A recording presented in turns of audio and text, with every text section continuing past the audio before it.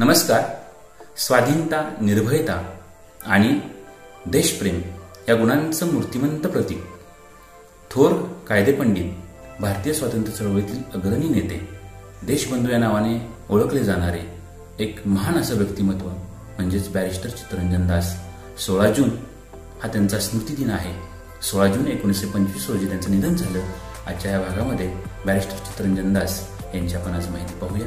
आजच्या भागामध्ये मी तुमचं रवींद्र जंगम मनपूर्वक स्वागत करीत आहे. तत्पूर्वी माझ्या चॅनलला सबस्क्राईब करा. शेजारच्या बेल आयकॉनवर क्लिक करा. लाईक करा. कमेंट लिहा. शेअर करा. हिमालया एवढ्या उत्तुंग कर्तृत्वाची अनेक माणसं आपल्या भारत देशामध्ये होऊन गेली. त्या मालिकेतलं एक नाव म्हणजे बॅरिस्टर चित्तरंजन दास. चित्तरंजन दास यांचे वडील भुवन मोहन हे कोलकाता इथं वकिली करत होते. चित्तरंजन दास यांचं शिक्षण शालेय शिक्षण कोलकात्यात झालं. ते बी ए झाले. त्यांना आय सी एची परीक्षा द्यायची होती. आय सी एची परीक्षा ही त्या काळातली सगळ्यात अवघड अशी परीक्षा मानली जात होती. ती परीक्षा देण्यासाठी इंग्लंडला जायचं जावं लागत होतं. एकोणीसशे नव्वदमध्ये आय सी एस होण्याच्या उद्देशानं चित्तरंजन दास हे इंग्लंडला गेले.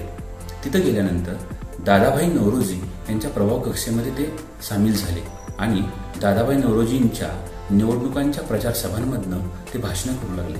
भाषण करत असताना एका भाषणामध्ये त्यांच्याकडून एक जो उल्लेख झाला त्याच्यावर इंग्रज सरकारनं ठपका ठेवला आणि आय सी एसची परीक्षा देण्याचंच त्यांचं स्वप्न भंग पावलं. बॅरिस्टर होऊन त्यांना परत यावं लागलं. अठराशे त्र्याण्णवला बॅरिस्टर होऊन ते परत भारतामध्ये आले वकिली करू लागले.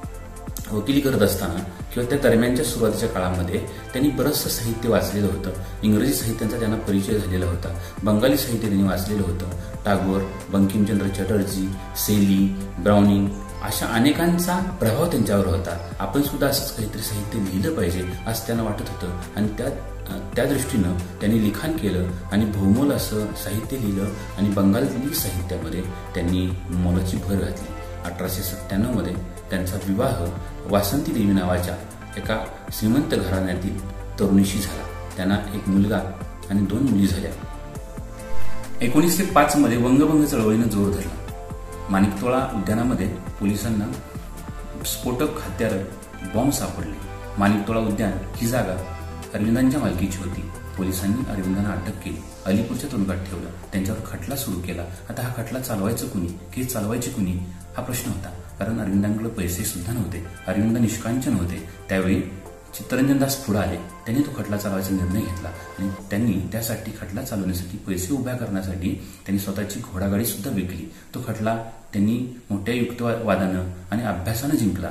खरं तर इंग्रज सरकारनं या खटला चालवण्यासाठी या अरविंदांच्या विरोधामध्ये जवळपास दोनशे साक्षीदार चार हजार कागदपत्र पाचशे स्फोटकं इतका मजबूत असा पुरावा त्यांनी गोळा केलेला होता. परंतु अरविंद अरविंदांच्या बाजूनं चित्तरंजन दास यांनी अभ्यासपूर्ण कायदे कायद्याचं सगळं ज्ञान पणाला लावलं आणि हा खटला ऐकण्यासाठी कोर्टामध्ये त्या काळामध्ये खूप लोकांची गर्दी जमायची. जवळपास अरविंदांच्या बचावासाठी आठ दिवस चित्तरंजन हे बचावाचं भाषण करत होते. इथं त्यांच्या या युक्त प्रभावी आणि सडेतोड युक्तवादानं अरविंदांची निर्दोष मुक्तता झाली. एक प्रख्यात वकील म्हणून चित्तरंजन यांचं नाव देशभर झालं त्यांच्या लौकिकामध्ये भर पडली. पुढे एकोणीसशे दहामध्ये धाका कट हा खटला त्यांनी चालवला. त्या खटल्यामध्ये त्यांना खूप पैसे मिळाले. जवळपास त्या काळामध्ये त्यांची महिन्याला पन्नास हजार इतकी त्यांची कमाई होती. ते श्रीमंत होत होते. पैसा त्यांच्याकडे ओघ पैशाचा ओघ चालू झालेला होता. मग परंतु हा पैसा पैसा त्यांनी देशकार्यासाठी समाजसेवेसाठी वापरण्याचं ठरवलं. त्या काळामध्ये खरं त्यांनी कर्ज काढलं होतं. त्यांच्या वडिलांनी कर्ज काढलं होतं. ते कर्जबाजारी झालेले होते. सरकारनं ते कर्ज माफ केलेलं होतं. कर्ज कालबाह्य झालेलं होतं. तरी सुद्धा सरकारचे उपकार आपल्यावर नको आहेत. म्हणून त्यांनी ते सगळं कर्ज भरून टाकलं. म्हणजे अशा प्रकारे याच्या अगोदर कधीही असं झालेलं नव्हतं. असे हे थोर मनाचे होते. त्यांनी बरेचसे खटले कुठलीही फी न घेता कुठलाही मोबदला न घेता त्यांनी खटले ते चालवले होते. त्या काळामध्ये साधारणपणानं एकोणीसशे वीसला बंगाल फाळणी विरोधी चळवळीमध्ये बिपिनचंद्र पाल अरविंद घोष यांच्या सोबतीनं त्यांनी काम केलं. एकोणीसशे वीसला असहकार चळवळ चालू झाली. त्या चळवळीनं जोर धरलेला होता. त्या चळवळीमध्ये चित्ररंजन दास हे सहभागी झाले. त्यासाठी त्यांनी वकिलीचा त्याग केला.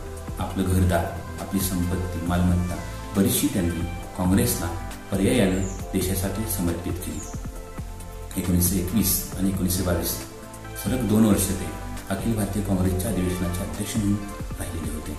एकोणीसशे चोवीसला कोलकात्याचे पहिले महापौर म्हणून त्यांची निवड झाली. त्या काळामध्ये त्यांना सहाय्य करण्याचं काम सुभाषचंद्र बोस यांनी केलं. अस्पृश्यता त्यांना मान्य नव्हती. स्त्रियांना मोकळीक असली पाहिजे? स्त्रियांना स्वातंत्र्य दिलं पाहिजे. स्त्रियांना शिक्षणाची संधी दिली पाहिजे असे ते मानायचे. विधवा विवाह आणि आंतरजातीय विवाह यांना त्यांनी प्रोत्साहन दिलेलं होतं. त्यांच्या दोन्हीही मुलींना आंतरजातीय विवाह करायचा होता. त्याला त्यांनी मोठ्या मनाने मान्यता दिलेली होती.